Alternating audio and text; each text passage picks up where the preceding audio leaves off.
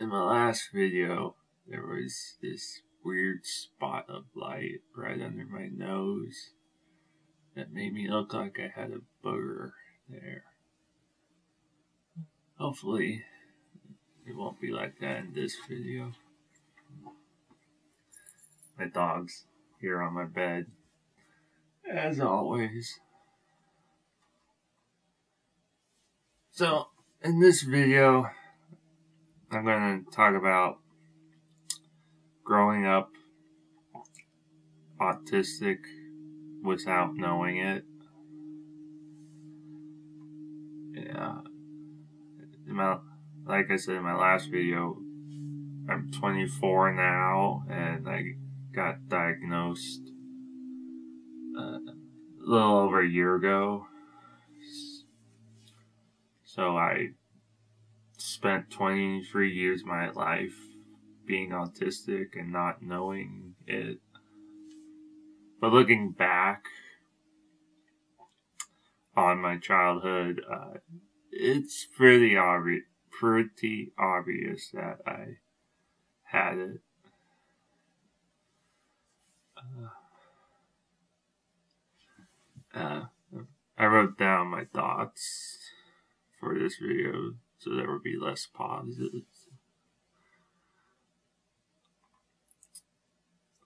Uh, I, I never got tested because there really wasn't a need to. I mean, I, I was a good kid in school. I was rarely in trouble. Well, I there were there were some problems. I mean, if, if you talk to my mom and dad, they'll they'll tell you some uh, some stories about how I I uh, misbehaved a lot, but I but they just thought it was kind of like being a child and and I would grow out of it and I I have. I mean I I don't throw tantrums anymore like I used to. But you know other than that there was no need to uh, go see a doctor for anything I was very shy and quiet. extremely. I would basically only talk when someone talked to me or asked me a question. And even then, and my answers would be would be short and very short and brief. My mom actually once told me that some people thought I I was mad at them for some reason because my answers were just so short. They thought I wasn't talking to them. They didn't know that it was just me that I do that to everyone. Like if they would ask me how I'm doing today, I would say good. And that that would be it. My mom told me that I got a double dose of shyness because her and my dad were both shy and quiet as kids. and I, I think they just assumed that I would grow out of it. And I and I did too.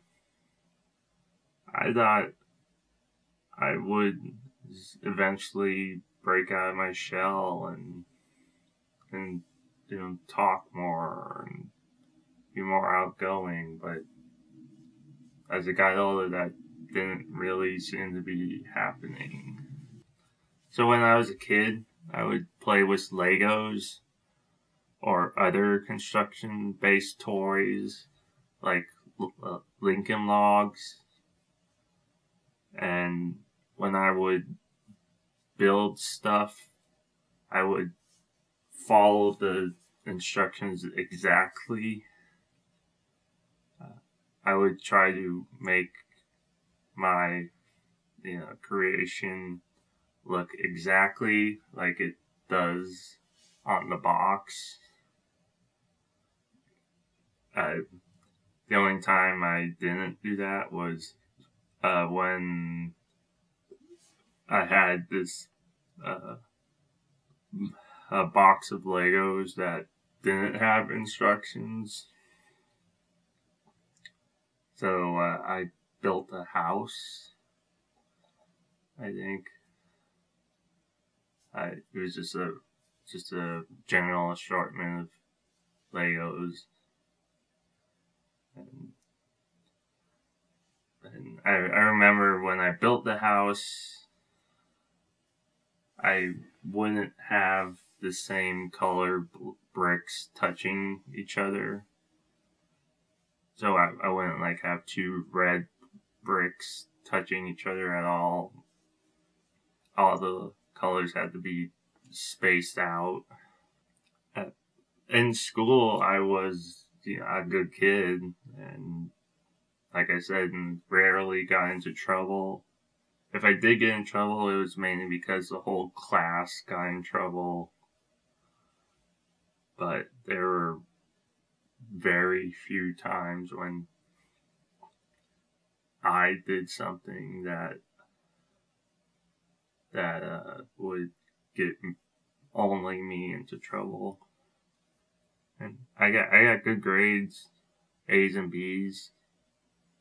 Although as I got older, that kind of started to go down. Like, like after I left elementary school,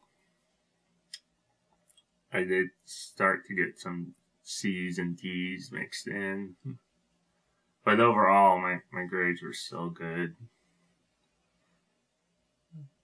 And I did, I think, looking back now, I think I did so well in school was because I take, I, I take direction so well. And the teacher gives you an assignment and I did it. And if I got homework, I do it at home and bring it back when it was due and turn it in. and then you know I complete a grade and move on to the next grade, first grade, second grade, third grade, and then elementary school, go to junior high, and then high school. After high school, go to college, and that's what I did. And after college, now it's like, like, what do I do next? that's where I'm at in my life. When I was growing up, I did have friends, but it was very few. Uh, and I didn't often see them outside of school except for like for birthday parties or if my parents got together with their parents, and even with my friends, I, I did not talk very much at all, and and kind of like blended in with the furniture, uh, or just you know faded to the background, and and you know, I I just kind of got used to that. And so now that I'm trying to be more open and talk more, it's hard, very hard. And right now I actually joined this group for autistic young adults. It's like a, a social social group, and they they meet you know every other week, and and I, I go to most of the meetings and and the, the goal of the group is to uh, provide autistic uh, autistic uh, the goal of the group is to provide people with autism more social interaction and and outlets to develop friendships and others other social behavior. And so I have have done some stuff with with other people in this group outside of of the meetings. Like like I've I've gone to a couple movies with just me and one other person which which I almost never done before joining this group. It was like going to the movies, it would just be only me or me, my parents, and my sister. I think that's about it. Uh, that's all I have to say. My, dog so spoiled. She just wants to be petted. Yeah, yeah. Yeah. Can you see her? Yeah.